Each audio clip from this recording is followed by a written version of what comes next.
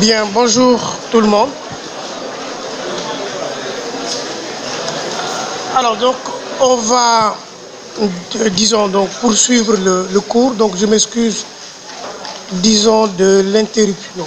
La- l'autre semaine, j'ai pas pu faire cours.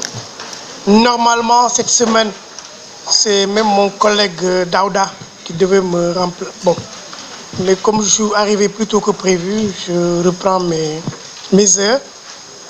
Euh, ceci étant dit, euh, nous venions de terminer la partie nutrition minérale, nutrition hydrique des plantes. Si vous vous souvenez bien, au tout début de ce cours, je vous disais que quand on parle de nutrition métabolisme chez les plantes, on fait allusion pas seulement à la nutrition hydrique, euh, non plus pas seulement à la nutrition minérale, mais aussi à la nutrition carbonée. On va parler du carbone. Euh, et ce qui justifiait même le fait que je disais euh, au début que quand on appelle l'unité d'enseignement nutrition hydrominérale, ben, ceci ne correspondait pas exactement, disons, au contenu pédagogique de ce cours, parce que nutrition hydrominérale n'intègre pas justement l'alimentation carbonée chez les, chez les plantes. Alors, pourquoi est-ce qu'il est important de parler de nutrition carbonée chez les plantes? Vous savez aussi bien que moi, chez les plantes, quand on parle d'autotrophie, autotrophie, alors, rappelez-moi la définition de l'autotrophie. Quand est-ce qu'on va dire qu'un être vivant, il est autotrophe vis-à-vis du carbone, par exemple C'est quoi l'autotrophie? Oui, euh, monsieur.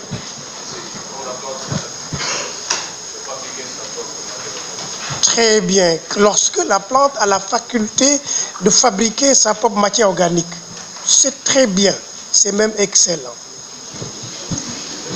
Il y a un problème? Mais Si elle veut se mettre à côté de toi, pourquoi tu refuses ça Laisse-la s'asseoir?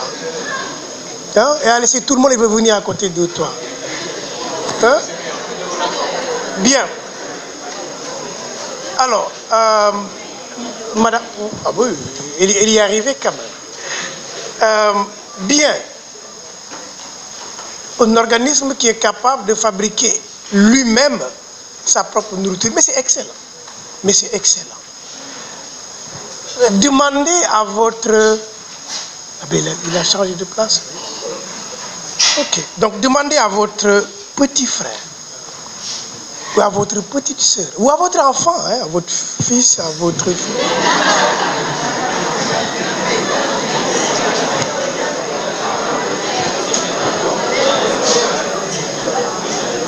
Qu'est-ce qui vous pose problème? Le fait que je dise votre enfant? Mais Je suis persuadé dans cette, euh, dans cet amphi, il y a des, des, des hommes ou des femmes qui ont, des enfants, c'est évident.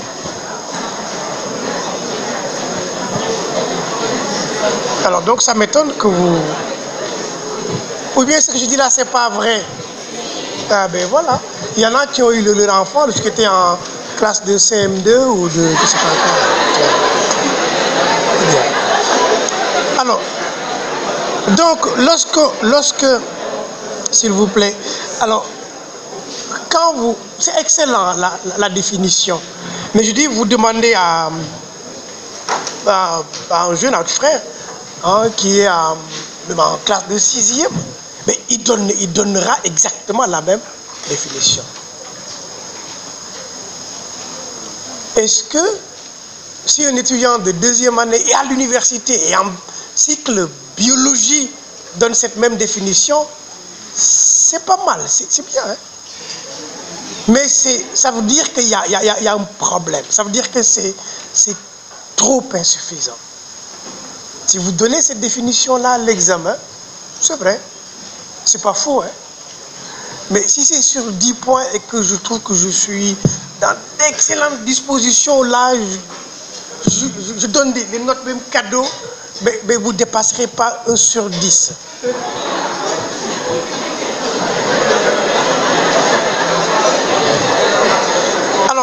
dire quoi? Ça veut dire, ça veut dire, puisque je l'ai dit, et que la, définition elle est insuffisante, ça veut dire qu'il va falloir vous donner justement les, les, éléments qui vous permettront in fine de bien définir l'autotrophie et ensuite d'avoir 10 sur 10. Donc au début, ça vous montre le gap. C'est ça que je voulais montrer. Donc il faut toujours partir de l'expérience, du vécu de l'étudiant, de l'apprenant, pour après construire. D'accord? Donc ça veut dire que nécessairement, il y a quelque chose à apporter par rapport à l'autotrophie.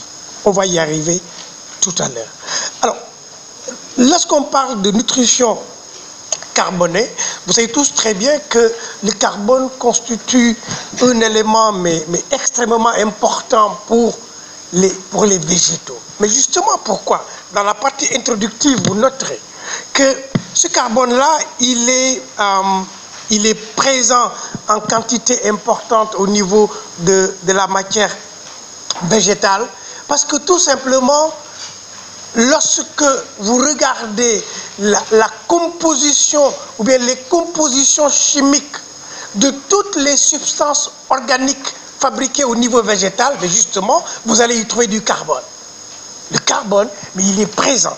Il est présent dans la formule de presque tous les composés disons, euh, organiques euh, par, euh, qu'on trouve au niveau de, de, de la plante. Alors donc ça veut dire quoi? Ça veut dire que pour le végétal, mais justement, il y a, y a, y a, y a une nécessité de, de pouvoir s'alimenter correctement en carbone. Autrement dit, le carbone, donc l'approvisionnement en carbone, ben, va être le problème principal auquel les plantes vont être confrontées. Comment s'alimenter en carbone? Si vous voulez déterminer le rendement chez une plante, ben, vous, cultivez de la tomate, du haricot, euh, de l'ananas ou, des litchis, hein, si vous êtes au, à Madagascar, ben, vous allez vous dire que lorsque ces plantes-là n'auront pas une bonne alimentation carbonée, mais justement, ils ne vont, pas, vont pas avoir une bonne productivité.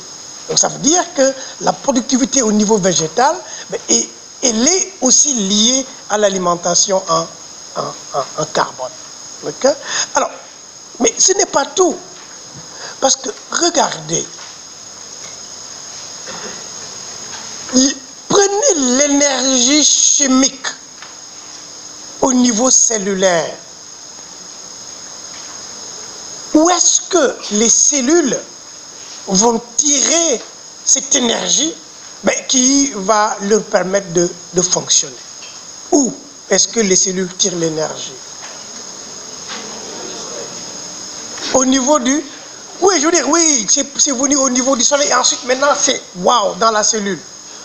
Mais ça veut dire que c'est pas c'est pas, c'est pas, disons, c'est pas un approvisionnement direct, quoi. Parce qu'après, bah, parce que l'énergie, justement, je donner la réponse pour aller vite, parce que justement, l'énergie chimique bah, se trouve emmagasinée au niveau des liaisons. C'est des liaisons carbonées, les liaisons chimiques. C'est là. Parce que si vous, si vous cassez ces liaisons, vous allez libérer l'énergie. Prenez la respiration. On va en parler tout à l'heure. Il faut dégrader la matière organique, mais complètement ou incomplètement pour en libérer l'énergie. Donc ça veut dire tout simplement que vous allez avoir une relation, mais entre l'alimentation en, en, énergie au niveau végétal et l'alimentation en, carbone. C'est-à-dire que les deux sont, sont liés, donc cette liaison entre approvisionnement en énergie et approvisionnement en, en carbone. Lorsque la plante n'est pas bien approvisionné en carbone, ben, vous, vous, allez y noter un déficit énergétique mais qui va se répercuter au niveau euh, métabolique, mais également qui va avoir des, des, conséquences mais dommageables au niveau de la plante. Si vous vous placez dans une dynamique de production végétale, évidemment, vous allez avoir une production mais, mais, mais moindre. Donc voilà, euh, disons, euh, cette, première approche qui permet de, de, de, bien montrer l'importance carbone, mais au niveau, au niveau végétal. Mais justement, pour bien illustrer c'est-à-dire que quelqu'un a parlé de oui, l'énergie solaire, oui, oui, mais quel est le phénomène à partir duquel les plantes vont convertir, comment on appelle, comment on appelle hein? Donc ce phénomène-là qui permet aux plantes de, de convertir l'énergie lumineuse en énergie chimique. C'est la photosynthèse. Parce que justement, quand vous faites de la photosynthèse, chez les végétaux, on verra tout à l'heure, les végétaux, ce n'est pas tous les végétaux, mais les végétaux chlorophylliens, mais qui ont cette faculté-là de convertir la matière inorganique en matière organique. Et cette conversion-là nécessite de l'énergie que la plante eh va tirer directement mais, mais, de, de l'énergie solaire. D'accord? Donc, voilà, on va prendre l'énergie ici et l'emmagasiner. Donc, in fine, l'énergie se trouve là. Rien ne se perd, rien ne se crée, mais tout se transforme. Ça veut dire que vous avez ici un processus de transformation, mais qui permet d'emmagasiner de l'énergie. Va faire de la conversion On va convertir l'énergie lumineuse. Maintenant, cette énergie-là, elle est là, intégrée au niveau de la matière organique par ce processus-là qu'on appelle la, la photosynthèse et qui va déterminer l'autotrophie dont on parlait tout à l'heure. Et regardez, parce que quand on parle d'alimentation ou bien de nutrition carbonée, mais ça veut dire au niveau des processus justement qui permettent, disons, euh, de, de, réaliser cette nutrition, ben, c'est vrai, vous trouverez là la photosynthèse qui permet hein, de, de, convertir cette énergie-là. Mais pour ensuite cette énergie qui est emmagasinée au niveau de la matière organique, ben, il, faut, il va falloir l'extirper. Pour l'utiliser, mais il faut l'extirper. La plante a converti. Maintenant, il faut utiliser l'énergie. Et justement, cette utilisation va se faire au cours d'un second processus, mais qui est là, la respiration, qui correspond à une dégradation complète de la matière organique. Donc, et ce processus-là permet de libérer l'énergie. Cependant, cependant, ce n'est pas seulement la respiration qui permet de libérer l'énergie. Parce qu'à côté de la respiration, vous avez également de la la fermentation qui correspond mais à une dégradation incomplète. On va dégrader de façon incomplète, mais justement, euh, euh, euh, la, matière organique. Et ce processus permet de libérer de l'énergie. Mais vous savez tous que l'énergie libérée par fermentation est moins importante comparée à l'énergie libérée par le processus de la, respiration, parce que la respiration dégrade complètement la matière, la matière organique. Et justement, euh, si vous prenez l'organisme chez l'homme, par exemple, ben, lorsque vous faites une activité physique qui dure pendant un certain temps, ben, il faut toujours de l'énergie pour approvisionner vos muscles-là qui vont courir. Mais à un moment donné, ben, la respiration, elle va, pas, elle, va, être insuffisante. Et alors, les, les cellules vont dégrader directement le glucose avec accumulation d'acide lactique. Et cet acide lactique va gêner les contractions musculaires, après qui va expliquer les, phénomènes de crampes. Vous avez vu en, physiologie. D'accord? Donc, la, respiration, tout comme la fermentation, ce sont des processus justement qui permettent de libérer de l'énergie. À tel enseigne que lorsqu'on parle de nutrition carbonée, en réalité, on va parler de trois choses. On va parler de la photosynthèse, on va parler de la respiration et on va parler de la fermentation.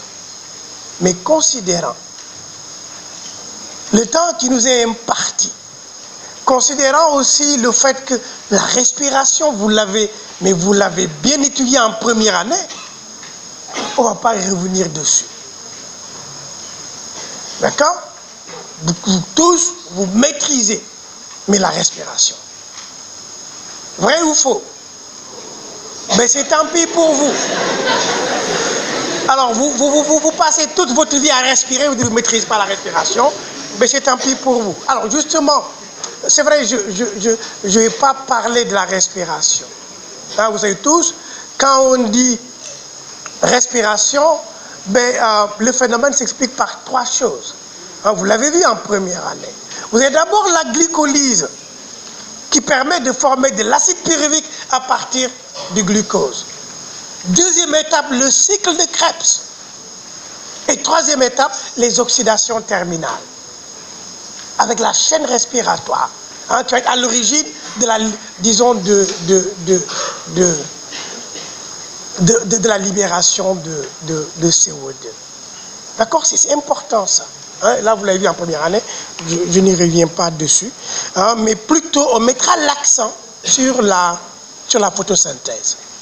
L'accent va être mis sur, sur la photosynthèse. Et donc, à partir de ce constat-là, justement, on peut maintenant définir le concept d'autotrophie. Maintenant, on peut le faire. Alors, parce que l'autotrophie s'oppose à quoi? Alors pourquoi je, dis ça? Parce que je, l'ai dit lundi au premier groupe. Euh, j'ai un collègue, M. Chao, département de BV, donc qui intervient en cours de en L3, quoi. OK? En L2 aussi. Alors, un temps, il demande aux étudiants c'est quoi l'autotrophie? Et après, il a été complètement, disons, ébahi, abasourdi par les réponses apportées, qui ne correspondaient pas du tout à la, à la réalité. Et c'est normal, il a frémi, il a sursauté. Parce que vous ne pouvez pas avoir des, étudiants qui font un cycle biologie, qui vont jusqu'en troisième année L3. Parce que L3, c'est une sortie, quoi. En L3, L3, c'est une porte de sortie pour les étudiants. Normalement, si le système LMD fonctionnait convenablement, lorsqu'on arrive en L3, ben, la majorité des étudiants allaient quitter le système hein, ailleurs. Et les bons, les très bons, ils vont continuer au master. Et ensuite, les très très bons de ces masters vont aller en thèse. C'est ça le système LMD. C'est exactement ça. Le L, votre L là, avec la licence, on peut sortir. Mais justement, le problème, c'est est-ce qu'avec la licence, on va avoir les compétences qu'il faut. Lorsque l'étudiant qui a sa licence en BCGS, est-ce qu'il a les compétences justement pour aller compétir sur le marché de l'emploi avec d'autres? Ben, qui viennent d'autres universités, d'autres euh, instituts supérieurs privés ben, pour euh, compétir Est-ce que l'étudiant a, cette a, ces compétences-là C'est là le problème. Et normalement, c'est une sortie. M également, une partie des étudiants va sortir. Et une minorité va aller en, thèse. C'est ça le système LMD. Et justement, euh, c'est vrai, les étudiants euh, de euh, cette année, ils, voilà, ils ont demandé, ils m'ont demandé avec collègues de participer à un panel où on parlait de, justement de, la problématique de l'employabilité des, jeunes le samedi au département de BV. comment faire pour que ben, disons, euh, euh, l'apprenant soit employable? Et ça, c'est une question euh, extraordinaire. Quoi. Pour le Sénégal, c'est une préoccupation. C'est valable également pour les autres pays africains. Parce que partout où on va en Afrique, le problème c'est, oui, est-ce qu'il y a une adéquation entre la formation que nous donnons et, voilà, l'offre au niveau, au niveau entreprise. C'est un problème général. Hier, hier, j'ai entendu le président de la République sénégalais, ben, mon président, dire que, je ne sais pas si vous l'avez suivi, qu'à peu près chaque année, on a 150 000 jeunes qui arrivent au niveau du marché de l'emploi, chaque année. Et qui vont venir s'ajouter aux 150 000, plus 150 000, plus N fois 150 000 des autres années qui sont là, qui, qui n'ont pas rien, qui, qui attendent. Et parmi les 150 000, il n'y a que seulement 6%. 6% qui ont une formation. Mais ça pose problème, ça. 6% des 150 000 seulement ont une qualification. J'espère que vous faites partie de ces 6%. Je, l'espère. D'accord Donc ça veut dire quoi? Ça veut dire que euh, le, le, développement justement de, ces compétences-là, il est, il, est, il, est, euh, il, est, il est primordial hein, pour la transformation au niveau de l'Afrique. Bref, bref. Donc, lorsque ici, j'identifie mes deux processus, je veux dire, ah, maintenant parlons de l'autotrophie. On a dit c'est bien, c'est bien comme, comme, définition, mais, mais ce n'est pas complet la, définition. Parce que ce n'est pas à cela qu'on s'attend un étudiant en deuxième année à l'université et plus en cycle de biologie. Peut-être un étudiant de, qui, qui, fait deuxième année, qui fait droit, sciences éco ou euh, littérature, quand il donne la définition, mais vous pouvez comprendre. Parce qu'il va, il va dire, c'est simple, hein, il va dire auto, ça veut dire soi-même. Ben le, vous allez, ceux qui font latin grec, ils vont dire le trophe, ça veut dire nourriture. Et donc, ça veut dire auto, mais quelqu'un qui produit lui-même sa propre nourriture. Ça, c'est la définition, mais étymologique du terme. Maintenant, qu'en est-il justement de, disons, du, contenu, mais technique, du contenu, euh, euh, je vais dire, euh, pédagogique hein, de, de, ce. Alors, un être vivant, si on part de ce que l'on sait déjà, ici, alors un être vivant autotrophe, il fait quel processus ici? Il fait? Est-ce qu'il fait la respiration? Oui ou non? Mais heureusement que oui. Ah, parce que j'ai cru entendre quelque part, non.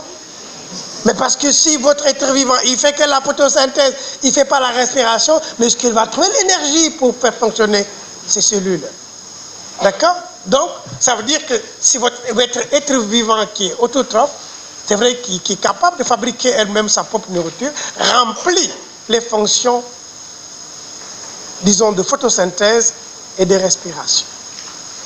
Et après, après, on va entrer dans les détails plus tard.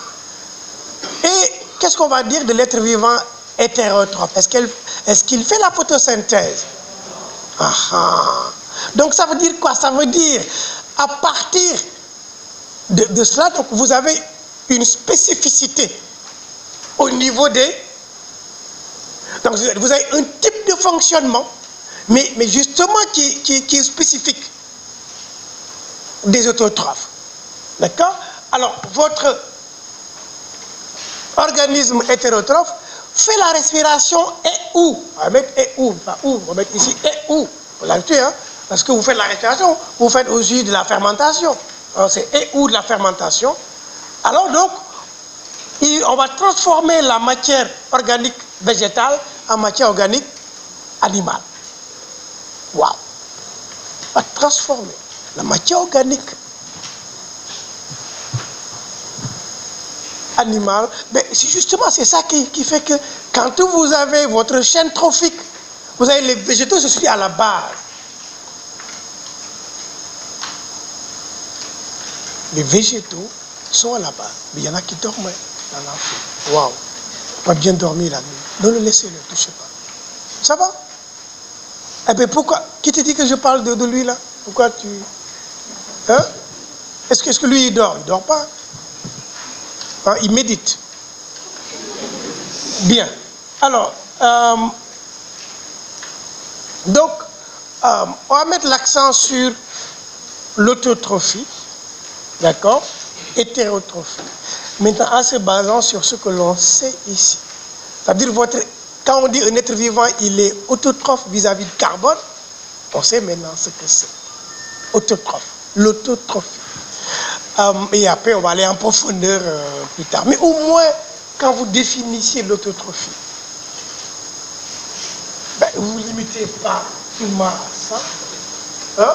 Donc, vous avez des phénomènes. Mais dans ces phénomènes-là, vous savez aussi comment, c'est-à-dire que le, déroulement, on peut après, c'est-à-dire va revenir tout à l'heure sur la définition de, ça, pour permettre d'alimenter davantage. Je ne vais pas le dire maintenant, sinon euh, il y aura un biais sur le plan pédagogique. Donc au moins on retient, on retient On retient cela.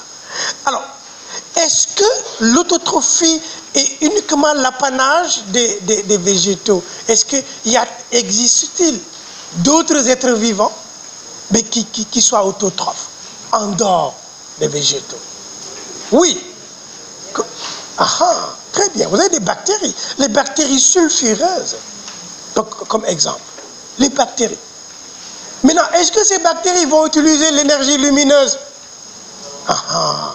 Ça veut dire que chez ces bactéries qui, sont, qui font la, chimiosynthèse, c'est des bactéries chimiosynthétiques, qu'on peut qualifier également de chimioautotrophes, d'accord Qui vont convertir justement ben, la matière euh, inorganique en matière organique.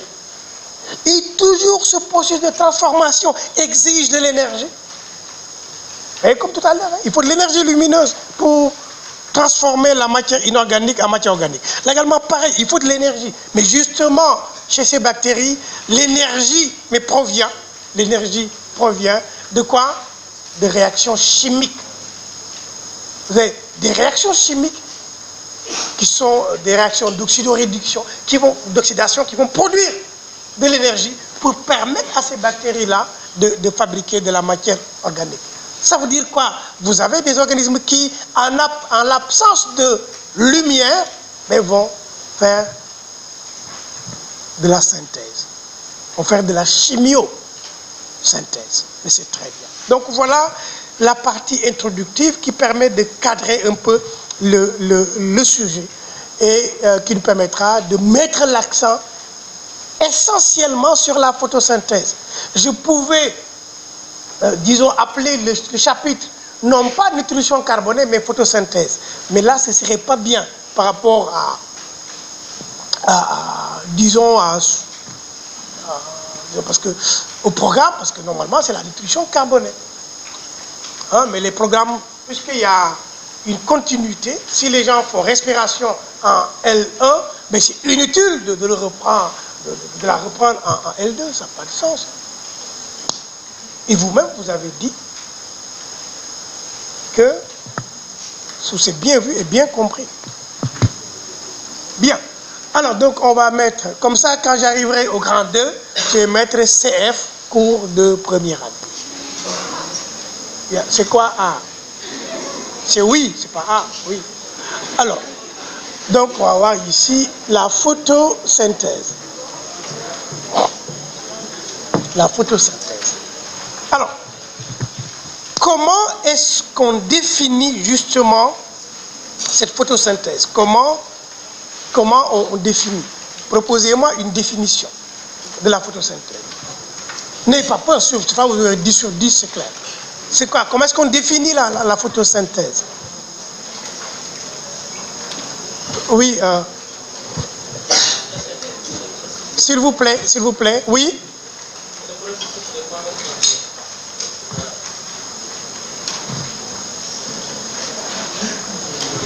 Il faut l'encourager, hein, le monsieur là. Il est.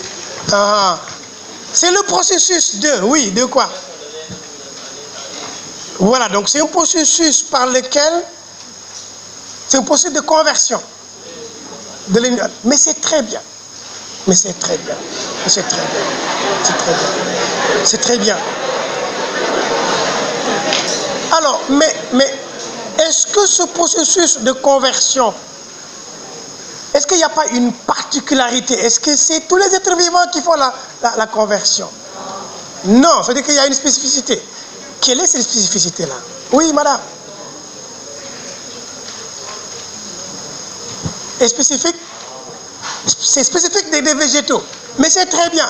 Est-ce que c'est tous les végétaux? Non. Végétaux chloro? Ah, ah. Donc, spécifique des végétaux, et la chlorophylle, c'est quoi? C'est un pigment. Ça veut dire quoi? Que pour faire ce processus, il faut avoir un équipement approprié. Si vous n'avez pas l'équipement, mais vous, vous, ne pouvez pas le faire. Alors, processus par lequel certains végétaux qui sont dits chlorophylliens sont capables de convertir l'énergie lumineuse en énergie chimique. Mais c'est très bien. Mais c'est 5 sur 10. Mais c'est excellent, c'est très bien. Alors, mais, mais, est-ce que, est-ce que dans cette définition, vous avez vu le carbone? Est-ce que dans cette définition, vous avez vu la matière organique? Quand vous me dites convertir l'énergie en énergie chimique, mais c'est bien. Mais il n'y a ni matière organique, vous n'avez, parlé, vous n'avez pas parlé de carbone, il est en train de parler de nutrition carbonée. Mais il parle là, il dort aussi, hein, il dort. Waouh Bonjour madame. Qu'est-ce qui se passe? Mais il y, a, beaucoup qui somnolent dans cette classe-là, je pense quoi. Ou bien c'est contagieux, c'est venu de, de, de là-bas, c'est sûr. Bien. Euh, vous n'avez pas parlé de carbone. Donc vous avez dit, c'est excellent, processus par lequel certains végétaux qui sont dichlorophyliens sont capables de convertir l'énergie lumineuse en énergie chimique. Et cette énergie chimique-là, elle est sous quelle forme? Vous allez dire conversion, énergie lumineuse en énergie chimique. Et donc là, vous dites que ça, c'est uniquement les végétaux chlorophylliens. Maintenant, cette énergie chimique-là, elle est sous quelle forme? L'énergie chimique, on est à quel niveau? On est au niveau végétal, je suis d'accord. Au niveau végétal, on se trouve à quel niveau? Le végétal, c'est quoi? C'est un?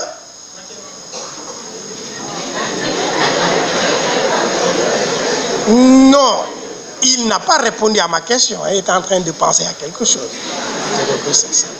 D'accord? Mais le végétal, c'est quoi? C'est un organisme.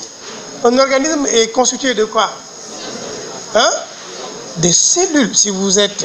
Voilà, donc ici, ça veut dire que au niveau cellulaire, cette énergie chimique, elle est sous quelle forme?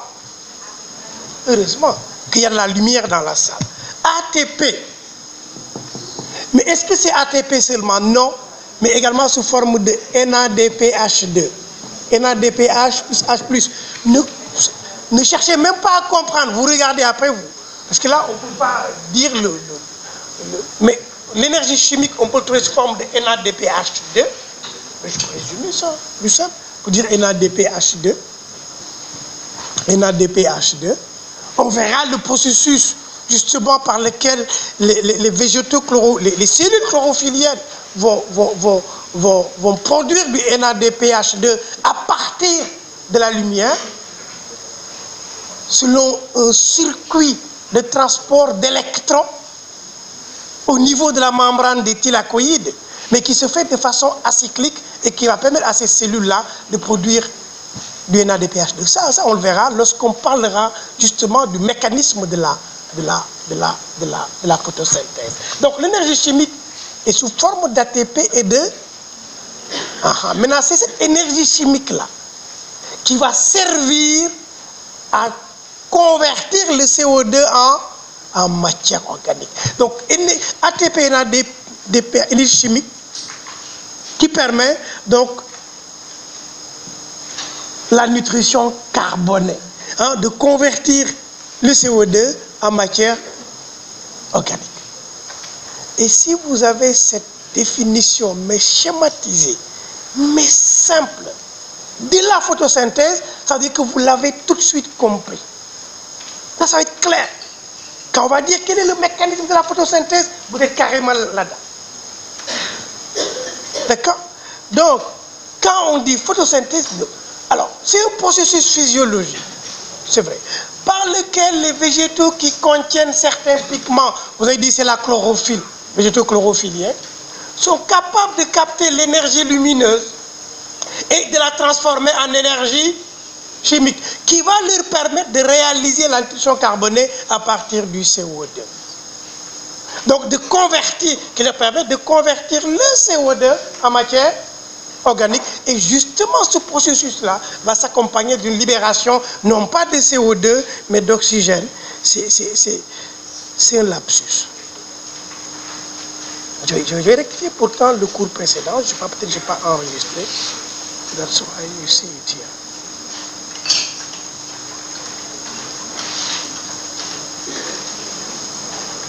C'est bon.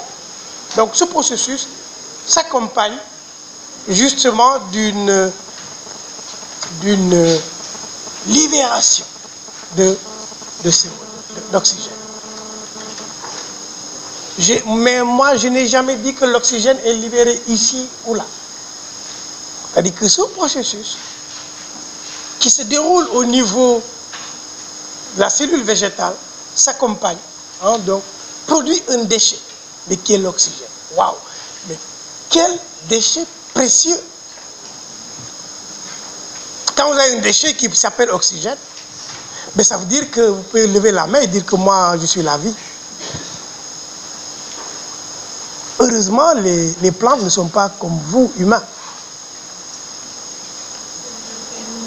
Hein, si les plantes étaient capables de, se rebeller, hein, euh, ben ça va être grave pour vous. Hein.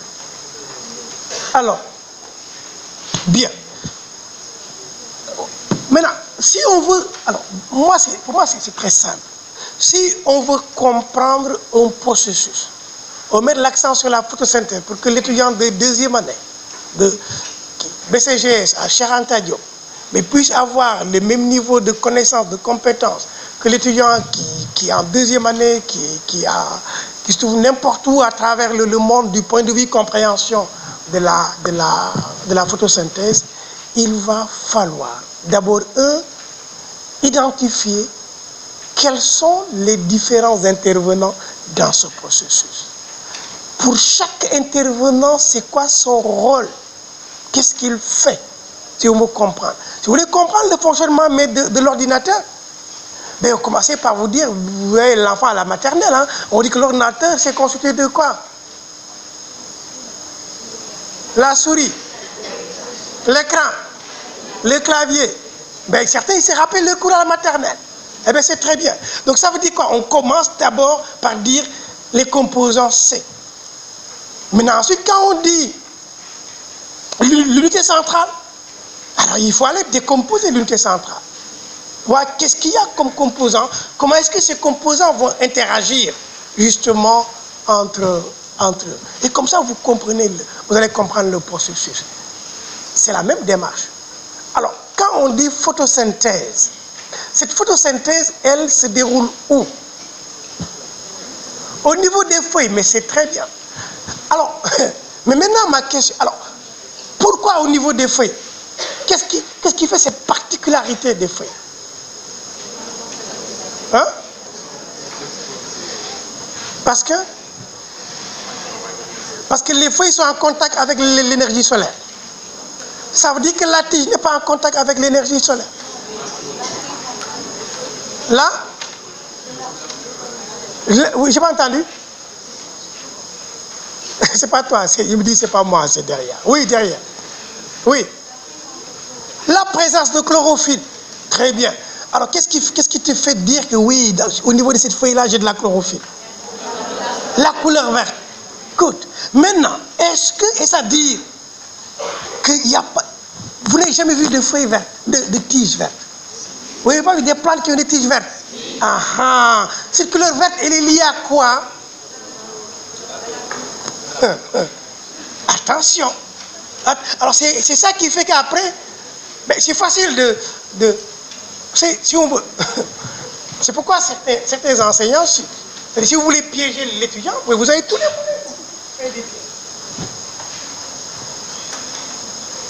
Mais la vie n'est pas faite que des pièges. Je dis que oui, euh, on peut... Euh, dire que voilà, waouh, noter 12 points et dire 8 points là, c'est vraiment pour les étudiants qui ont bien compris. D'accord? Alors, donc, c'est vrai, la feuille, mais attention, la photosynthèse, elle se déroule au niveau de tous les organes verts. Verts. Tous les organes verts. Tous les organes verts, je dis bien. vous pouvez avoir des tiges vertes, mais qui sont photosynthétiques. Photosynthétiques. D'accord? Alors, donc le siège, ben, vous avez dit le siège, c'est au niveau de la feuille. D'accord. De façon générale. Parce que là, c'est quelques exceptions. Mais il dit attention, ce n'est pas une C'est une règle, une exception. Je ne veux pas dire pas une règle. Ce n'est pas, pas ça. Ce n'est pas ça. D'accord? Alors, je vous le conseille au niveau des feuilles. Mais où au niveau de la feuille? Au niveau des chloroplastes. Ça, c'est très bien. Donc, le chloroplaste, c'est le siège de la photosynthèse. Donc, on va mettre en grand A. On va faire comme, comme dit, hein. grand A, le chloroplaste, siège de la photosynthèse. L'important, c'est que l'étudiant y comprenne. Il comprend. Siège de la photosynthèse. Le chloroplaste, siège de la, de la, de la photosynthèse. Alors, pas, on ne va pas perdre notre temps à parler du, chloroplaste.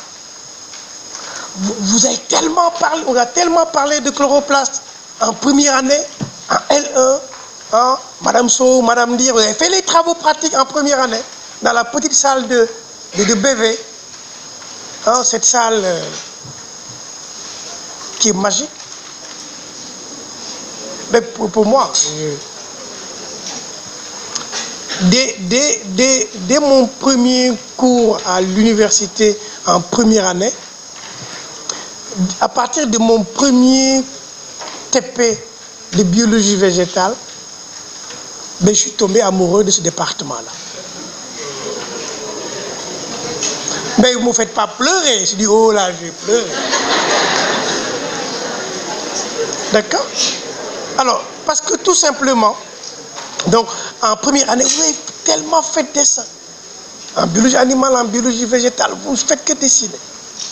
Euh, donc, on parle des organites et parmi ces organites, vous avez étudié, mais de façon approfondie, le chloroplaste.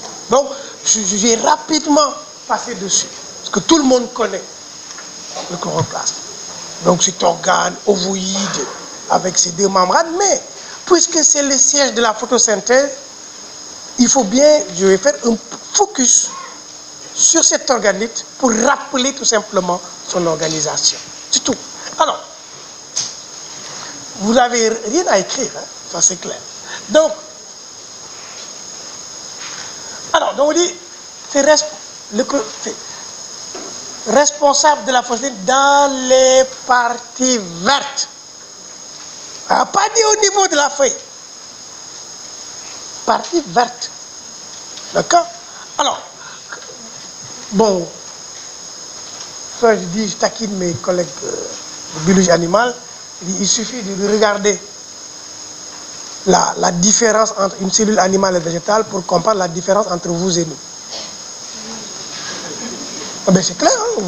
quand vous regardez ces cellules, vous dessinez un petit rond cellule, euh, animale à côté, vous voyez tout de suite la, différence.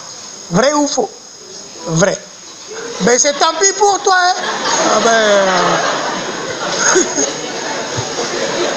Bien. Alors, euh, c'est bon. Alors, c'est bon. Je sais que ça vient de se déranger là, là. Et ça veut dire que je vais les maudire tous là, à partir de là, là. Hein? C'est là-bas. Là, ici, là, là. hein? C'est au milieu. Ok, d'accord. Donc, c'est au milieu. Très bien. Donc, vous avez, ici cette cellule avec sa personnalité là. Dressé, celui-là. Hein? C'est le petit cellule animal qui est là, qui... Alors, alors donc, euh, à l'intérieur de, cette cellule, vous voyez bien, disons, ces, organites, mais ovoïdes, hein? ovoïdes, sont les chloroplastes, et chaque chloroplaste est constitué de quoi? D'une double membrane. À l'intérieur du chloroplaste, vous avez quoi Vous avez quoi? Les thylakoïdes qui s'empilent en, en granat. On dit un granum, deux granats. D'accord? Donc ici, vous avez un empilement de thylakoïdes qu'on appelle un granum. Et l'ensemble de ces thylakoïdes baignent dans une substance fondamentale, mais qu'on appelle le stroma. C'est-à-dire que si vous ne comprenez pas ça, ben, vous pouvez rester chez vous, attendez la fin de la photosynthèse. Quand je commencerai un autre chapitre, vous pouvez revenir. Mais là, ça veut dire que ça, c'est la base pour bien comprendre le déroulement de la, de la, de la photosynthèse. OK? Et donc, ça veut dire quoi? Ça veut dire que c'est un réseau. Que même quand ça, même c'est très. Vous voyez que les, les, les, ces gradins sont reliés entre. Donc, on le voit ici en approfondi. Quand vous avez ici votre thylakoïde, hein, vous avez la membrane thylakoïdale. Et ensuite, vous avez l'espace intrathylakoïdal à l'intérieur de ce. De, parce que justement, les, les pigments, les pigments, dont par les chlorophylles, etc., les pigments sont intégrés au niveau de la membrane du thylakoïde. Les pigments, vous les trouvez intégrés au niveau des membranes du thylakoïde. D'accord? Alors donc là, il de, de revenir sur ça. Mais aussi, on ne peut pas s'empêcher, disons, euh, d'être, comment je veux dire, euh, complètement... Euh, étonné, hein, pas étonné, oh, impressionné, impressionné par l'importance, le, nombre de chloroplastes au niveau des cellules. Si vous prenez une feuille, si vous prenez un millimètre carré de feuille, il dit bien un millimètre carré. J'espère que tout le monde a la notion de dimension là il dit bien un millimètre carré de feuilles. Vous allez y trouver à peu près un demi-million de chloroplastes par millimètre carré de feuilles. Et chaque chloroplaste mais, va faire la photosynthèse. Vous imaginez ça C'est-à-dire que par millimètre carré de feuilles, vous avez un demi-million. Regardez, sur une feuille, vous avez combien sur une branche, vous avez combien? Sur une plante, vous avez combien? Sur des plantes, vous avez combien? Alors donc c'est la raison pour laquelle ben, l'homme, l'homme, ne peut que s'agenouiller devant la nature, mais qui est parfaite. Euh, parce que tout simplement, aujourd'hui, on peut inventer tous les processus qu'on veut on est même au niveau des androïdes. Hein, vous venez sur cet androïde Sophia là qui est capable de vous dire oui, comment vous allez, vous voulez prendre un rendez-vous hein, Vous appelez comment? Il parle avec vous, vous posez des questions, il répond parce que c'est un robot qui, qui fait. Mais ça n'égale pas la nature. Parce que quand vous regardez en termes de productivité, il n'y a pas un système aussi productif que la photosynthèse. Comprenez? Il n'y a pas, ça n'existe pas. Et tout de suite, vous allez comprendre la différence entre animal et végétal. La différence entre ceux qui travaillent sur les, sur les animaux et ceux qui travaillent sur les végétaux aussi. Taquiner mes, mes autres collègues. Alors donc, ça veut dire quoi? Ça veut dire que euh, euh, les, les, les, les, pigments mais sont extrêmement importants au niveau, les, chloroplastes hein, au niveau cellules végétales. Souvent, je le dis, euh, lorsqu'on fait des... Parce qu'on intervient beaucoup dans des processus de, formation des, des, responsables d'entreprise dans le domaine de, de l'agriculture, un peu partout en Afrique. Mais je dis, euh, si, vous, si vous observez justement sur une plante une tache noire, ou bien une nécrose, des cellules qui sont mortes, vous dire, mais ça, ça c'est rien. Imaginez ce que vous perdez en termes de production. Si vous, avez, faites du mil et vous avez des feuilles, beaucoup de feuilles qui, qui, sont plus vertes, mais qui sont jaunes. Donc, ils font plus la photosynthèse. Imaginez ce que vous perdez. Parce que vous allez perdre des milliards de chloroplastes. Et vous allez perdre des tonnes et des tonnes en termes de, de rendement à la fin. Ah oui, oui. C'est la machine qui fait le rendement.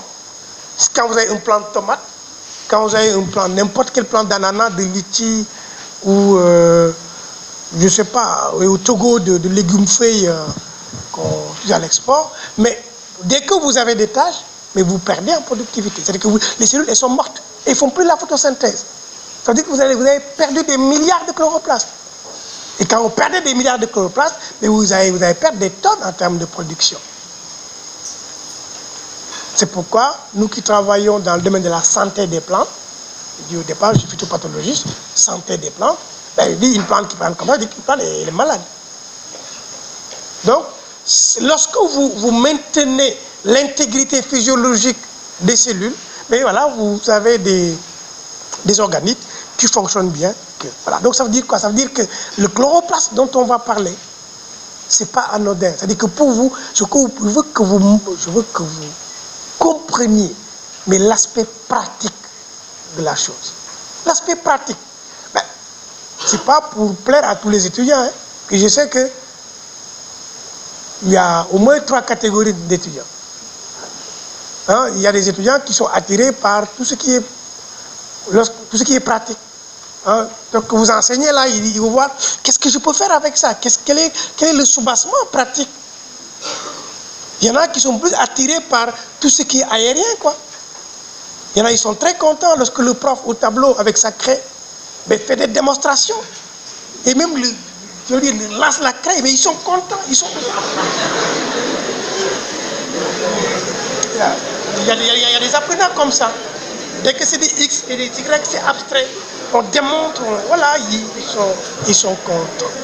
D'accord? Mais il y en a qui sont plus attirés justement par les, aspects, euh, disons, plutôt, plutôt, plutôt pratiques. Hein, ces gens-là, c'est important. Quand on dit chloroplaste, voilà là où ça vous amène, en agronomie, justement. En agronomie, où est-ce que ça, ça vous amène? Bien. Alors, euh,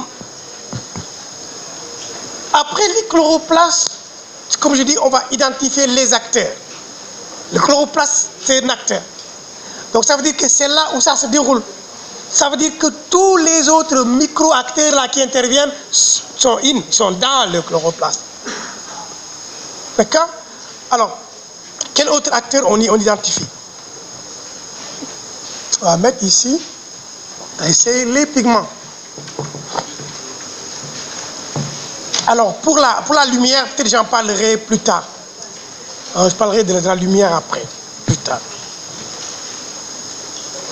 Donc, les pigments. Alors, c'est quoi un pigment? C'est quoi? C'est quoi un pigment? Rapidement. Là, je suis en retard par rapport à l'autre groupe. Il faut qu'on accélère. Un pigment, c'est quoi? Comment est-ce qu'on définit un pigment? Donnez-moi un exemple de pigment.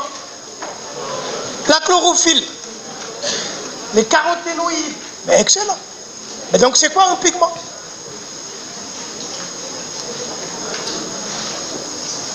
Hein? Quelles sont les caractéristiques des pigments? C'est-à-dire que vous, vous, vous, m'avez dit tout à l'heure, les feuilles sont vertes là. Parce qu'il y a, la chlorophylle. C'est parce qu'il y a la chlorophylle que la feuille est verte. C'est bien ça. C'est vous qui l'avez dit. Et c'est vrai. C'est quoi un pigment alors? Pigment, donc faites la, la, relation entre pigment et coloration. Je suis d'accord avec, avec vous, c'est très bien. Parce que regardez, pourquoi les feuilles, on ne peut pas y revenir, pourquoi les feuilles sont vertes? Parce que, parce que les feuilles contiennent de la parce que tout simplement, quand vous avez de la chlorophylle à l'intérieur, donc la feuille va absorber toutes les radiations, sauf les radiations vertes qu'elles vont réfléchir dans toutes les directions. C'est pourquoi quand vous regardez la feuille, vous voyez que c'est vert. C'est uniquement ça. Parce que vous avez de la chlorophylle à l'intérieur qui va absorber toutes les radiations, sauf les radiations vertes qu'elle va réfléchir. Si on détruit la chlorophylle à l'intérieur de la feuille, elle n'est plus verte. Elle va être jaune. Vous allez avoir une feuille chlorosée. Vous allez avoir un jaunissement foliaire. D'accord? Donc, ça veut dire qu'on définit le pigment, mais par rapport à son interaction avec la, la lumière. Donc, ce sont des molécules organiques, mais qui sont capables d'absorber certaines radiations. C'est des molécules organiques, les pigments, qui ont la possibilité d'absorber certaines radiations. Et ça, c'est important à retenir. Alors, donc vous m'avez parlé de la chlorophylle. Est-ce que... Alors, bon, euh, la chlorophylle. Moi, j'ai parlé, on va dire les chlorophylles. Mettez au pluriel. Alors, vous connaissez quel type de chlorophylle? La chlorophylle A. Ben, s'il y a A, c'est que forcément il y a B. Sur lui là. La chlorophylle C. Ah oui? D. E. On enlève Z alors. D'accord? Bien. Donc, alors, donc, vous avez chlorophylle A, B, C et D. D'accord? On reviendra sur la répartition de ces types de chlorophylle, mais au niveau des, végétaux. D'accord Alors, donc, euh, les chlorophylles. Alors, ce qui m'intéresse ici, c'est qu'on puisse voir l'organisation, la molécule de chlorophylle. La molécule de chlorophylle. Alors, vous avez vu, vous fabriquez un cerf-volant. Vous connaissez ce que c'est qu'un cerf-volant? Mais vous n'êtes pas obligé de connaître hein, et de voir. Donc, ceux qui connaissent le, cerf-volant, hein, ben, euh, qui a construit un, cerf-volant ici? Oui, monsieur, oui. comment, s'il vous plaît. malheureusement, il n'y a, a, pas de micro. Oui. Ben, sinon, ah, ah, oui, c'est toi. Oui, alors comment comment tu as fait le, cerf-volant?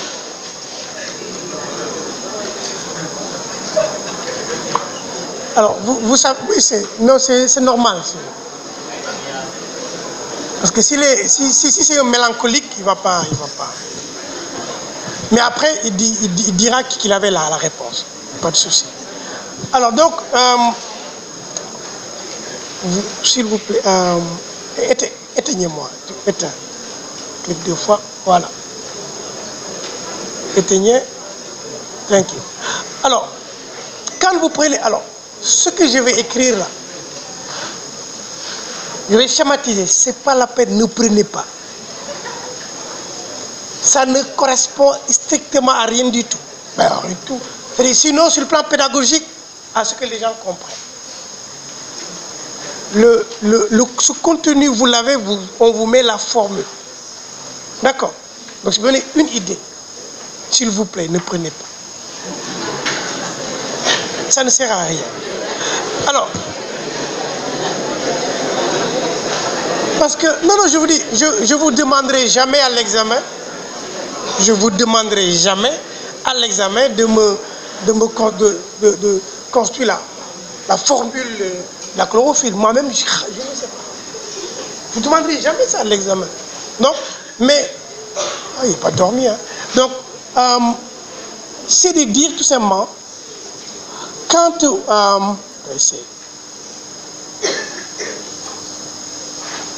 faire comme ça. Donc, je représente tout simplement.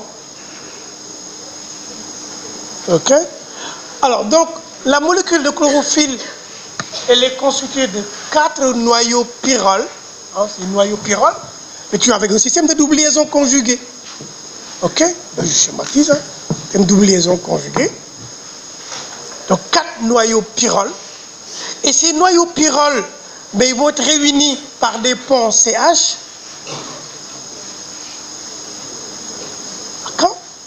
Avec au centre mais un atome de magnésium. Je, vais montrer tout à l'heure la, formule, vous, l'aurez, il n'y a pas de souci.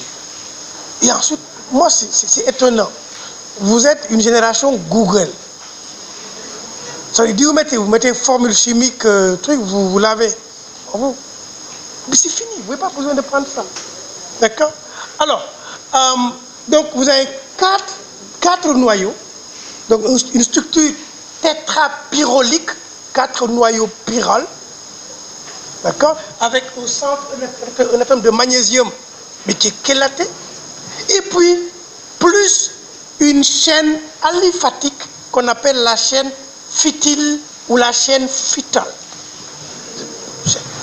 Hein, une chaîne aliphatique, comme ça, avec un système de double liaison conjuguée. C'est comme si vous avez un cerveau-là, quoi. D'accord Donc, voilà la molécule, la structure. Alors, je vais vous montrer ça tout à l'heure. C'est pas là. Mais ne prenez pas ça. Vous continuez. D'accord. Alors, pourquoi, pourquoi je, je le dis? Je ne le dis pas pour vous, je le dis pour moi. Parce que demain, votre cahier là, je ne parle pas de toi, madame, c'est un exemple. Son cahier, son cahier. Alors, vous allez, vous allez, euh, vous allez donner à quelqu'un qui va regarder et puis il va, voir la formule que vous avez mis de la chlorophylle. Mais attends, c'est qui le prof qui vous a dit que la chlorophylle c'est comme ça? Vous comprenez? Donc, ce n'est pas la peine de, Quand je dis c'est pas la peine, ne prenez pas. Ça, c'est je pour moi, pas pour vous. Si, vous voulez. D'accord? Alors, donc, quand vous prenez la chlorophylle A et la chlorophylle B, ces deux chlorophylles ne diffèrent. Chez la chlorophylle A, vous allez avoir un groupement CH3 qui va être remplacé par un groupement CHO chez la chlorophylle B. Et c'est différent pour que les deux molécules soient différentes. D'accord Donc, la chlorophylle A, elle est ubiquiste. Qu'on trouve partout. L'ubiquité.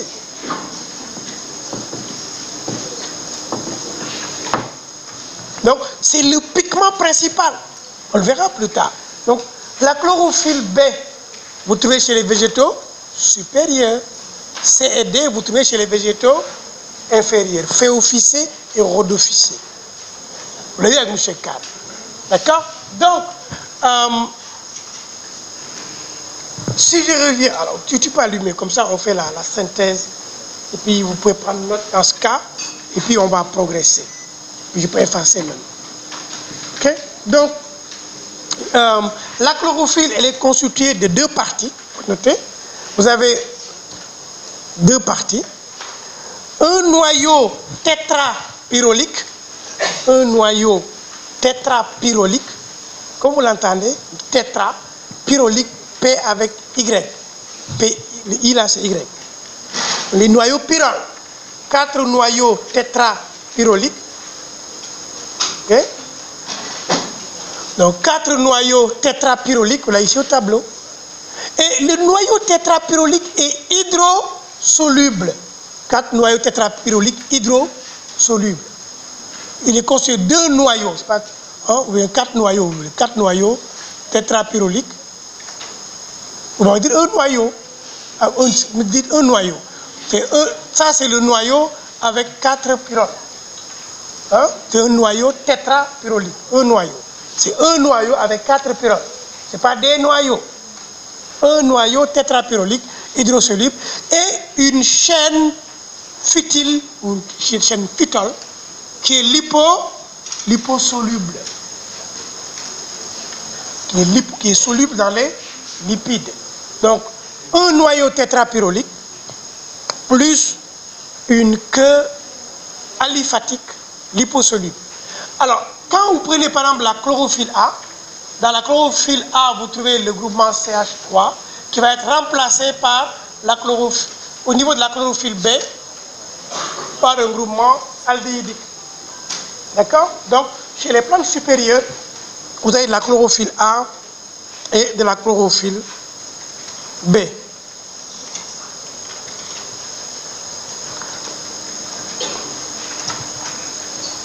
Voilà, donc les chlorophylles, hein, donc il y en a A, B, C, D. On a dit la chlorophylle A est ubiquiste, hein, chlorophylle A et B, vous trouvez chez les végétaux supérieurs, et C, D chez les végétaux inférieurs. Ça va? Ensuite, on va voir les caroténoïdes. Les caroténoïdes. Faut- Waouh, Les caroténoïdes.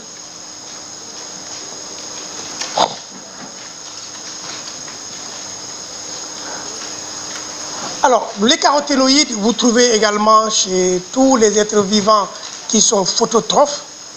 D'accord? Je peux le dire. Hein. Présent, les caroténoïdes sont présents chez tous les êtres, chez les plantes phototrophes. Alors, c'est des pigments qui sont liposolubles. C'est des pigments lipo, liposolubles, lipophiles, donc qui sont insolubles dans l'eau, et qui, sont composés de 40 atomes de, carbone. Donc c'est des pigments, c'est les C40, les, caroténoïdes. Et vous vous arrêtez là. Hein, si vous recopiez là, vous êtes à C40. Vous ne prenez pas le reste, vous direz. D'accord? Bien. Donc, euh, c'est des pigments lipophiles, c'est des C40. Alors, et vous avez deux types de caroténoïdes. Deux. Vous notez deux types. Deux types. Vous avez les carotènes on a les carotènes. Alors, formule générale, C40H56, c'est des C40H56, donc les carotènes, c'est des C40H56. Donc, dont le type, le type, dont le type est le bêta-carotène, dont le type est le bêta-carotène. On l'appelle? Bêta-carotène bêta Merci. Hein. Ça, détend. Hein. C'est le bêta, le, le, bêta carotène. Bêta, Alors, euh, une molécule de caroténoïde de bêta-carotène se présente comme ceci. D'accord? Donc, vous avez les deux noyaux et entre les, deux noyaux, vous avez des, liaisons carbone. Et toujours regardez ce qui est constant ici. C'est toujours le système de double liaison conjuguée. Ça, c'est important à retenir. Ça veut dire qu'au niveau des pigments, mais j'observe un système de double liaison conjuguée. Est-ce que la nature a fait ça par hasard? Hmm. Donc on verra euh, comment est-ce que cela va, se traduire. Donc, le, bêta-carotène, donc euh, C40H56.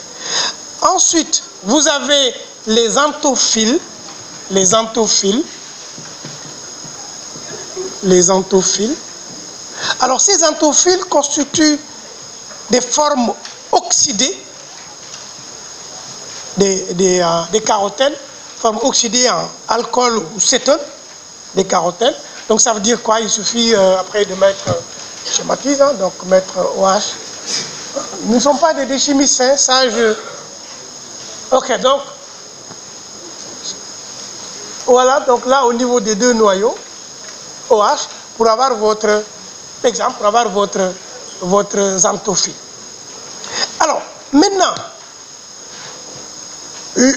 lorsque vous connaissez la composition chimique de ces pigments, ça vous permet de comprendre beaucoup de choses.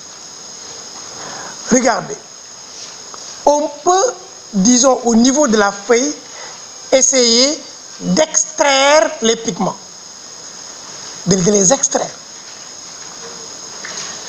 Alors, je ne sais pas si le temps permettra, parce que là on est en train de se préparer euh, pour, la, photo, pour faire la photosynthèse en, TP de physiologie je n'ai pas dit en TP de nutrition hydrominérale, hein, en TP de physiologie. C'est vrai qu'il y a des, il y a, des, groupes qui ont, qui ont, terminé avec la, qui ont terminé euh, avec l'hydrolyse de l'amidon. Ok? Si on a le temps, ils vont revenir pour la photosynthèse. D'accord? Et lorsque vous reviendrez, vous allez comprendre beaucoup de choses si on veut extraire les pigments, donc vous allez avoir des solvants. On peut prendre de, l'acétone, mettre du carbonate de calcium hein, pour euh, bien conserver le, magnésium. Et puis, euh, vous mettez les feuilles vertes à l'intérieur et vous broyez.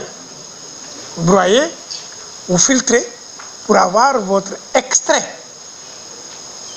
de pigments. C'est-à-dire que dans cet extrait, vous trouvez tous les pigments végétaux.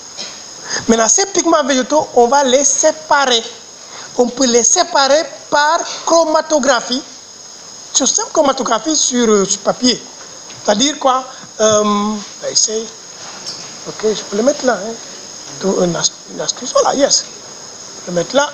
Donc, ce que je peux faire, donc là, j'ai, je prépare une solution constituée de différentes molécules avec des polarités différentes, acétone, éther de pétrole et benzène, que je vais mélanger à des proportions différentes, là. D'accord? Ensuite, je prends mon papier chromatographique, qui est là, le papier, que je suspends à une potence, là, une sorte de potence. Ok? Là, je fais de sorte que le bout du papier touche la solution. Lorsque j'ai préparé mon, mon, mon, extrait de pigment, il suffit de prendre un brin d'allumette, un brin d'allumette cassé, vous trempez dans, vos pigments et vous mettez ici. Vous trempez à nouveau, vous mettez là. Donc pour avoir green, donc vous mettez là et vous concentrez davantage. Voilà, donc ça veut dire qu'ici, j'ai tous les pigments, chlorophylle A, chlorophylle B, carotène, xanthophylle. Qu'est-ce qui va se passer Donc la, solution va migrer par simple capillarité. Et en migrant par capillarité, va entraîner les, pigments. Et alors ces pigments vont se déposer en fonction de leur densité. Comprenez ça? Et donc les pigments qui sont les plus lourds, on va les voir, ça va être la chlorophylle B. Souvenez-vous, la chlorophylle B, on a un groupement CHO. C'est-à-dire vous allez avoir chlorophylle B, vous allez voir là. Après, ensuite, vous allez voir la chlorophylle A.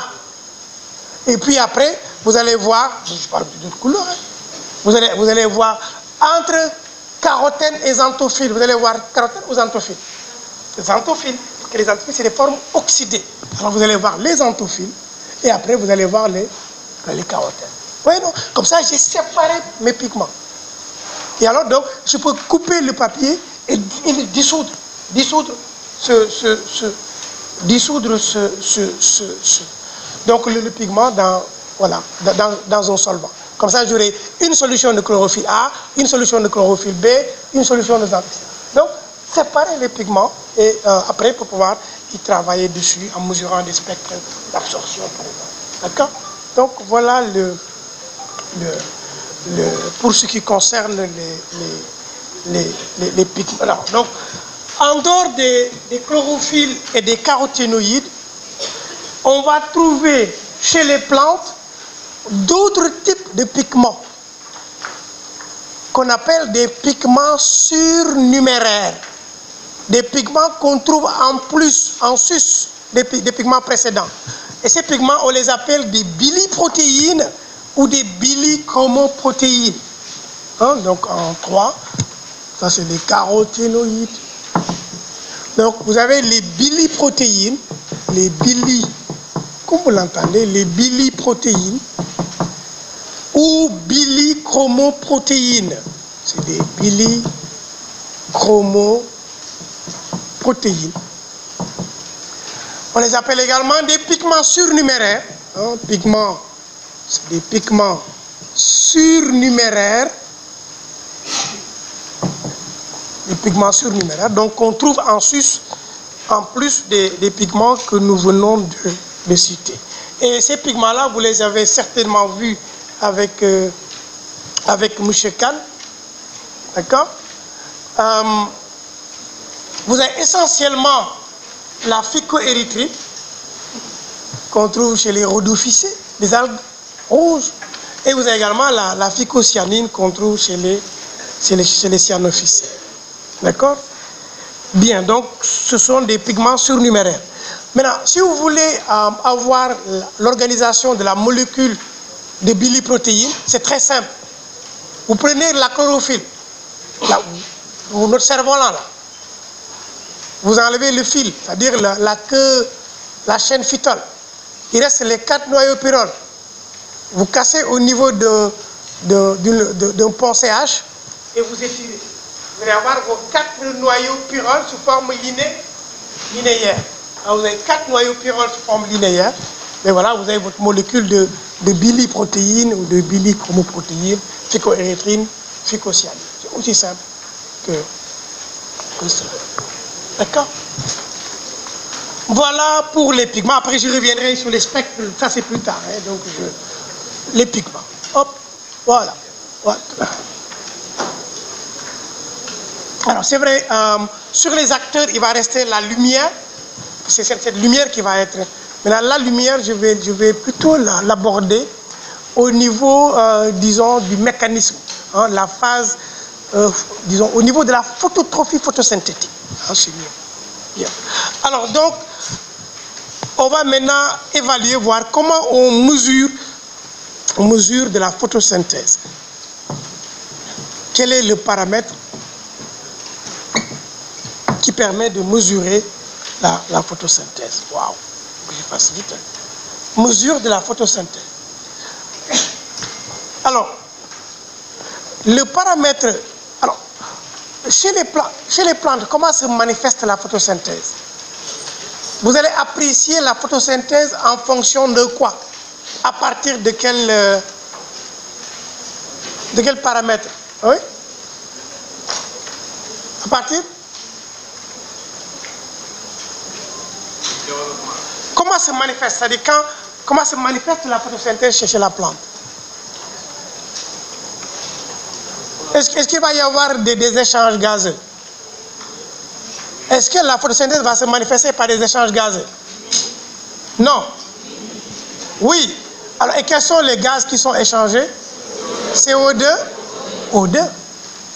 C'est-à-dire la plante va fixer du CO2 et elle va rejeter Donc, puisque la photosynthèse se manifeste par une absorption de CO2 et un rejet d'oxygène, disons, euh, la quantification de ces paramètres-là est un moyen d'évaluer la photosynthèse, est un moyen de mesurer la photosynthèse. Donc, la photosynthèse, on la mesure hein, à partir d'un paramètre qu'on appelle IP, qu'on appelle intensité photosynthétique. Intensité photosynthétique. L'intensité photosynthétique permet de mesurer la photosynthèse. Donc, on appelle IP, intensité photosynthétique. Et, pour résumer, je vais pas vous donner des détails. Alors, l'IP, l'intensité photosynthétique, donc l'intensité photosynthétique correspond à quoi? C'est la quantité. Ah, maybe I have to. Comme ça, je le mets au milieu pour que tout le monde puisse voir. Merci beaucoup. Donc, l'intensité photosynthétique correspond à la quantité de CO2 absorbé ou d'oxygène rejeté. Donc, c'est la quantité de CO2 absorbé ou de CO2 rejeté par unité de temps, par unité de temps et par quantité de matière.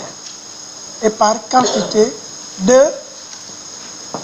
matière. Donc, quantité de CO2 absorbé ou d'oxygène rejeté par unité de temps et par quantité de, matière.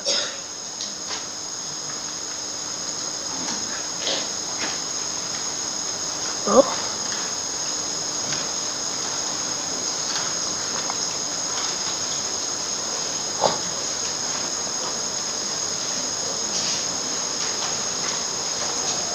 Qu'on appelle intensité photosynthétique.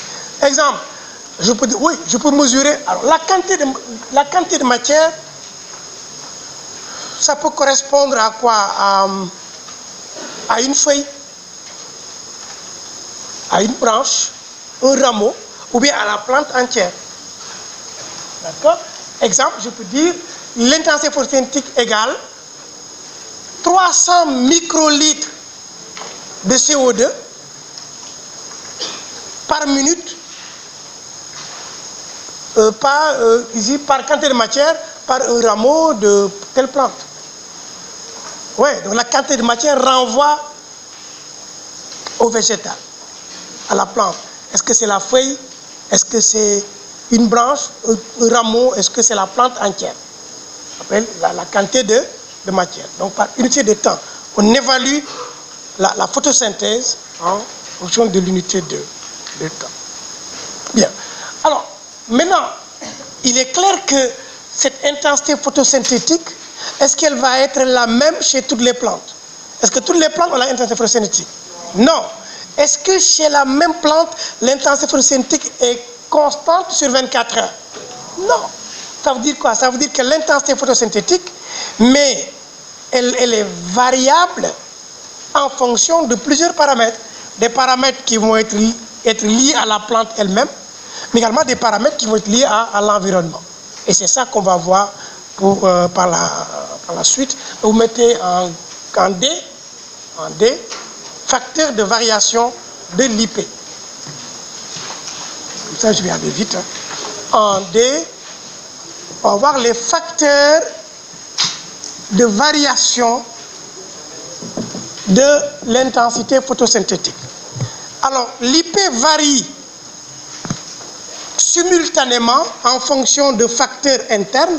Donc, l'I- l'intensité photosynthétique varie simultanément en fonction de facteurs internes et de facteurs externes. Donc, l'IP varie simultanément en fonction de facteurs internes et de facteurs externes. Et on va voir d'abord en petit 1 les facteurs internes. Donc, varie en fonction des facteurs internes. On va voir comment est-ce que euh, les facteurs internes peuvent influer sur... euh, voilà. Alors, premier facteur interne, c'est l'intégrité physiologique des cellules. On va voir, premier facteur. Donc là, intégrité physiologique des cellules. Intégrité physiologique des cellules. Donc l'IP varie en fonction de l'intégrité physiologique des cellules. Ça veut dire quoi? Ça veut dire que quand vous avez une plante qui est sénescente, qui est vieille, ou bien une plante qui flétrit, qui flétrit, que fait son intensité synthétique, photosynthétique Ça diminue. D'accord Donc ça veut dire que l'intégrité physiologique des cellules influe sur euh, l'intensité photosynthétique.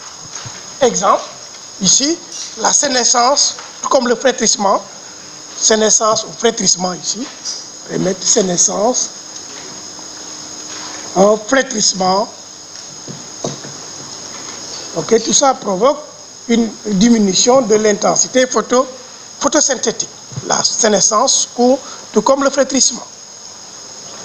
Alors, comme, comme nous l'avions vu également, disons, euh, au niveau des facteurs qui influençaient la transpiration, euh, la structure anatomique des feuilles aussi. La structure anatomique des feuilles. La structure anatomique des feuilles, c'est un facteur interne qui influe sur la variation de l'intensité photo, photosynthétique.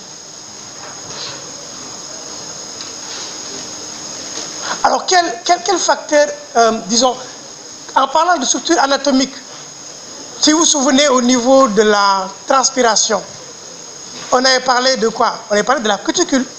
Hein, Donc ici, par exemple, l'épaisseur de la cuticule, ou bien la présence de, de, de parenchyme lacuneux, la cuticule, la cuticule, parce que quand vous avez une cuticule qui est épaisse, d'accord, ça, euh, ça favorise moins de diffusion de CO2 et donc moins d'IP, moins de photosynthèse. Par contre, quand vous avez un parenchyme lacuneux qui est important, c'est-à-dire que, c'est-à-dire que le CO2 va diffuser au niveau de ces lacunes.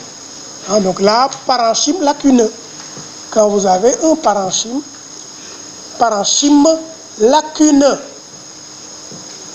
donc qui permet euh, d'augmenter la, la, la photosynthèse.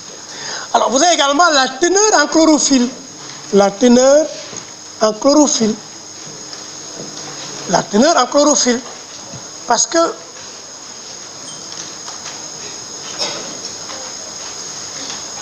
Il y a une réunion parallèle là qui, cause beaucoup de problèmes. Alors, la teneur en chlorophylle, euh, parce que justement, vous, avez, vous allez avoir une corrélation positive, vous allez avoir une corrélation positive entre la teneur en chlorophylle, plus la teneur en chlorophylle elle est importante, plus la photosynthèse est importante. Corrélation positive entre la teneur en chlorophylle et l'intensité photosynthétique. Donc on a une corrélation positive entre la teneur en chlorophylle et l'intensité photosynthétique. Vous avez également le degré d'ouverture des stomates. Le degré d'ouverture des stomates. Donc après la teneur en chlorophylle, le degré d'ouverture des stomates. Ben, pensez à la dépression de midi. Vous vous souvenez de ça? Hein? On a vu qu'aux heures les plus chaudes, aux heures les plus lumineuses, on a une fermeture partielle des stomates et donc une diminution de l'IP. Parce que plus les stomates sont ouverts, plus vous allez avoir du CO2 qui va diffuser. C'est ça Parfait. Et enfin, vous avez, pour finir, le dernier paramètre interne, c'est la présence, la présence de produits synthétisés, la présence de produits synthétisés non, encore évacués. Je m'explique. La présence de produits synthétisés non encore éva, évacués. La présence de produits synthétisés non encore évacués. La cellule, c'est une machine. Quand vous avez euh, une machine euh, qui fait, je ne sais pas, qui fait euh, des bonbons, donc à partir de la matière première à l'entrée, et à la sortie, vous avez vos bonbons en produits finis emballés. D'accord? Maintenant, quand vous avez ici l'accumulation de produits finis qui risque, qui va bloquer la, la chaîne, vous allez voir, ça va se répercuter progressivement jusque là. D'accord? Donc, quand vous avez au niveau euh, de la cellule une synthèse importante de matière organique au niveau des feuilles, maintenant cette matière organique va être distribuée au niveau de, tout, de toutes les cellules via le phloème. Maintenant, quand il y a un engorgement au niveau foliaire, la, la, la, feuille va réduire l'activité photosynthétique. C'est quand on dit, lorsque vous avez des produits qui sont photosynthétisés, qui sont importants et qui ne sont pas encore évacués, donc ça, ça influe sur la variation de l'intensité photosynthétique. Bien, donc voilà pour les facteurs internes, c'est-à-dire c'est des facteurs qui sont liés à la plante elle-même et qui impactent positivement ou négativement sur l'intensité photosynthétique. On va voir maintenant les facteurs externes. Oui, madame. Je n'ai pas entendu. L'impact? Oui, quand vous... Mais attends. On a vu l'organisation de la feuille. Vous avez vu que la, cuticule, c'est le tissu de revêtement extérieur. D'accord Et on a vu que chez les plantes qui étaient adaptées à l'aridité, chez les zérophytes, vous avez une cuticule qui est épaisse, qui permet de conserver l'eau. D'accord Mais cette cuticule épaisse aussi va permettre de diminuer la diffusion de CO2 et donc diminuer la photosynthèse. Bien. Alors, les facteurs externes, donc on va commencer par le premier facteur externe, c'est la concentration en CO2, le CO2. Donc, le CO2.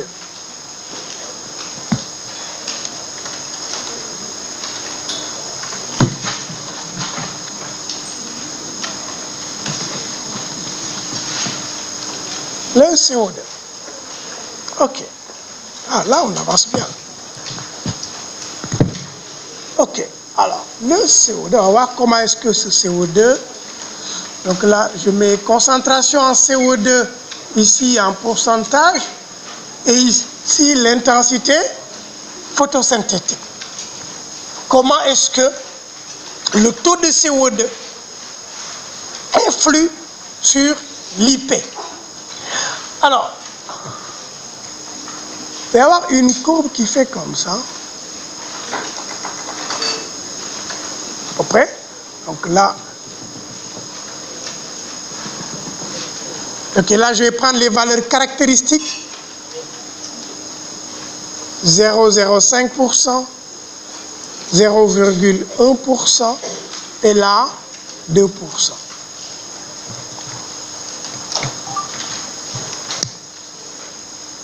Bien.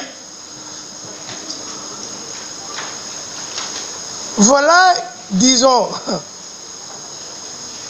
une courbe à partir de laquelle, mais on peut tirer mais beaucoup d'informations. Et mais des informations mais extrêmement utiles. hein. Extrêmement utiles. Alors, qui, comment on peut analyser ce graphique-là? Je répète encore, je ne mets pas de hein. Je suppose que tous les étudiants sont capables de mettre des titres. Ça, c'est une compétence que vous avez tous. D'accord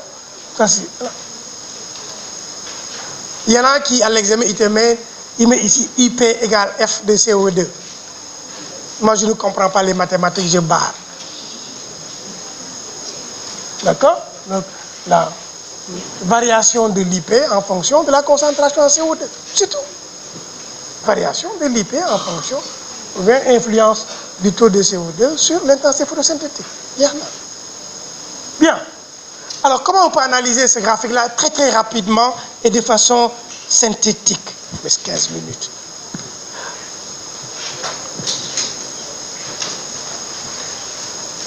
Alors, ce qui est clair ici, c'est que l'IP est dépendante du taux de, de CO2. Ça, c'est clair. Parce que Il faut, il faut bien comprendre les choses. C'est-à-dire qu'analyser une courbe, si, si on est en mathématiques, là, si on parle en langage, disons, abstrait, quand on dit analyser une courbe, ici, on repère, c'est de voir la relation entre x et y. En matin, on dit y égale f de x. C'est ça, non? Autrement dit, quand j'analyse, je trouve la relation entre l'IP et le taux de CO2. Et faire une courbe, c'est déjà un premier niveau, mais d'analyse. C'est déjà un premier niveau d'analyse. Parce que je vois l'évolution. D'accord? Donc, on voit ici que l'IP, c'est vrai, varie en fonction du taux de CO2. Maintenant, comment se fait cette variation-là?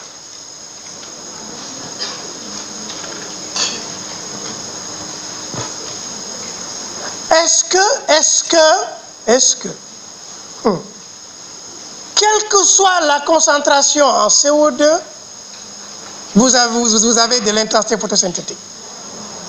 Ça, c'est déjà une bonne information. Ça veut dire que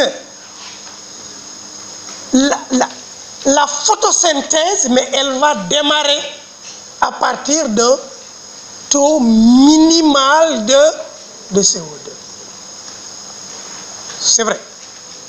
Alors, quand on est à 0,005%, quelle est la valeur de l'IP Si pour un taux de CO2 de 0,05%, quelle est la valeur de l'IP IP égale 0. Alors, si IP égale 0, est-ce que la plante fait de la photosynthèse? Voilà. Donc, vous avez répondu oui ou non? Lorsque IP, l'intensité photosynthétique, est nulle, est-ce que la plante fait de la photosynthèse? Voilà, vous avez dit non. J'ai entendu 99% de non. D'accord? Et pour moi, c'est important sur le plan pédagogique. Si vous dites non, si vous dites oui, ben je dis yes. Oui, ok, je suis content. Parce que ça veut dire qu'il y a quelque chose à expliquer à ce niveau-là. Attention. Alors ceux qui ont dit oui, ils m'expliquent le pourquoi. Qui a dit oui? Maintenant, voilà, là, il y a...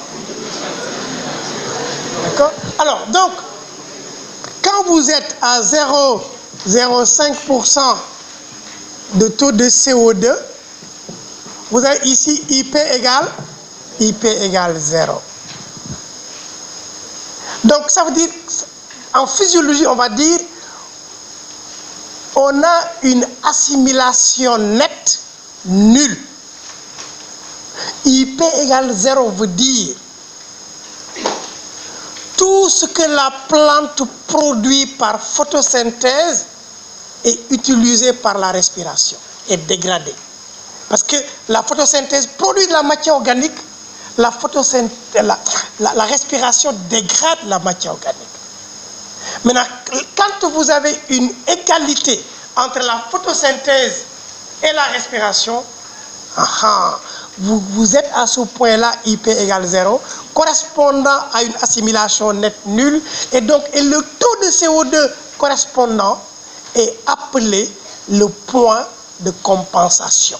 C'est-à-dire quand on dit point de compensation, ici, le point de compensation. Donc 0,05% 0,05% correspond au point de compensation pour le CO2. Et le point de compensation correspond à une assimilation nette nulle égale, donc ici correspond à une assimilation nette égale 0. Ça veut dire quoi? Si vous êtes au point de compensation, d'accord Donc vous avez une égalité photosynthèse égale respiration. Tout ce que la plante produit par photosynthèse est dégradé lors de la respiration. Si vous êtes au point de compensation, est-ce que la plante met en place une réserve? Non. Si vous êtes avant le point de compensation, alors, parce qu'il faut que la plante respire, hein. il faut que la plante dégrade la matière organique pour extraire l'énergie nécessaire à son fonctionnement. Si vous êtes avant le point de compensation, que fait la plante? Hein? Si vous êtes avant le point de compensation, ça veut dire que la respiration est supérieure à la photosynthèse. Ça veut dire que la plante vit sur ses réserves. Avant le point de compensation, la plante vit sur ses réserves. Après le point de compensation, la photosynthèse est supérieure à la respiration et alors la plante vit en réserve.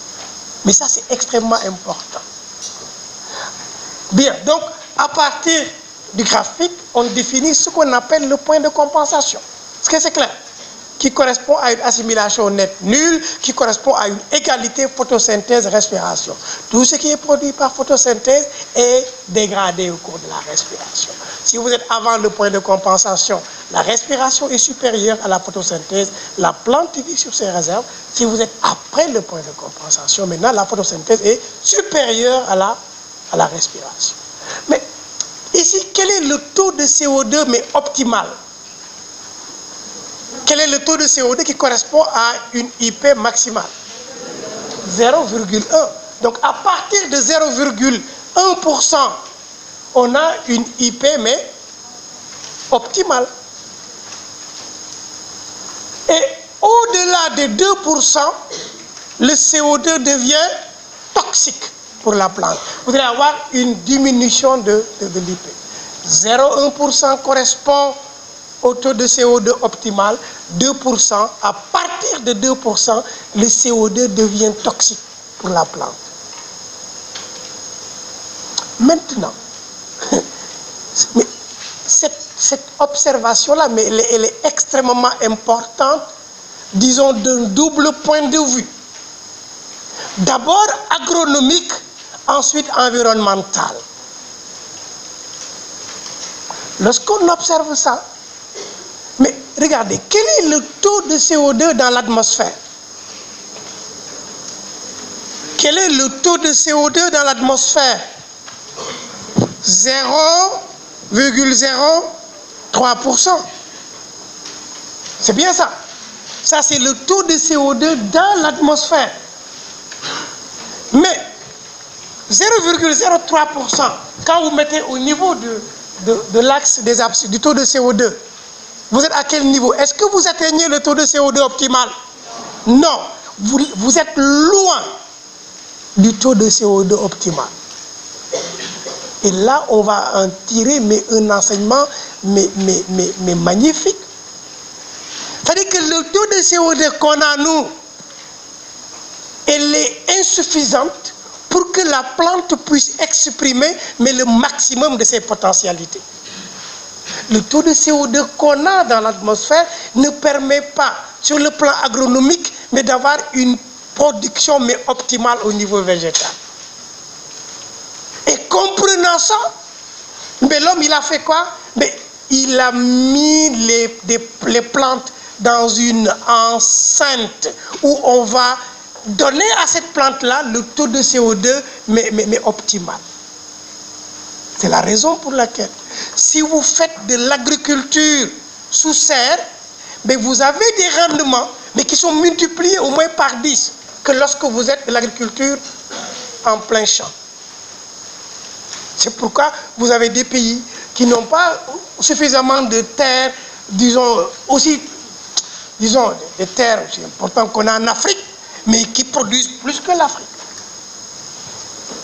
Et ça, c'est c'est une aberration. L'essentiel des terres actuellement qui sont disponibles pour faire de l'agriculture à travers le monde, mais se trouve en Afrique. Mais malheureusement, c'est ici où on a le, moins de productivité. Il y a problème. Donc, avec ça, on dit, ah mais tiens, on peut optimiser la production végétale. Parce que 0,03%, ça tient pas. C'est la dimension, mais agronomique. Donc, connaissant ça, on dit, on connaît le taux de CO2 minimal pour démarrer la photosynthèse, c'est le point de compensation, c'est de 0,05%. On connaît le taux de CO2 optimal, 0,1%. On connaît aussi le taux de CO2 à partir duquel, mais justement, le CO2 va être toxique pour, pour la plante. Mais imaginez-vous, si on augmente le taux de CO2 dans l'atmosphère, quel va être dans cette salle où nous sommes là On augmente le taux de CO2. Qu'est-ce qui va se passer? Ben, Moi, je serai là à côté de la porte. hein. Donc, ça veut dire quoi? Ça veut dire qu'on va créer des conditions, mais asphyxiantes. Donc, si le taux de CO2 augmente, mais alors la plante devient un puits carbone. Parce que la plante est capable de, de fixer. Donc, c'est la raison pour laquelle actuellement, peut-être euh, mon collègue Daouda, le prof d'écologie, pourra vous en parler, parce que c'est l'un des c'est un grand spécialiste au niveau africain, au niveau de quand on parle de changement climatique. D'accord? Donc, il pourra bien vous en parler, demander de parler du puits carbone. Parce que la, la plante, elle, elle- devient capable mais de fixer l'excédent de, de- de CO2. Quand il y a une émission de CO2 mais importante, mais la plante, elle est là, elle peut fixer. Parce que la plante n'a pas encore atteint, disons, son, son optimum en termes de production. Donc ça veut dire quoi? On a deux conséquences. Sur le plan agronomique, quand on fait de l'agriculture sous serre, ça, il faut le noter, c'est important. Sur le plan agronomique, quand, quand vous faites la culture sous serre, hein, la culture sous serre permet d'augmenter les, les rendements. D'accord? Ça permet d'augmenter les, les rendements. Parce que sous serre, on va donner à la plante exactement le taux de CO2 pour avoir une productivité optimale. Mais également, dans le domaine des changements climatiques, c'est-à-dire que les plantes constituent une sorte de puits carbone, donc pour fixer l'excédent de, de CO2. Parce que le problème, c'est vous, humains. S'il y a trop de CO2, ben, vous risquez la- l'asphyxie. C'est la raison pour laquelle il faut respecter les plantes. C'est la raison pour laquelle aussi vous devez respecter ceux qui travaillent sur les plantes.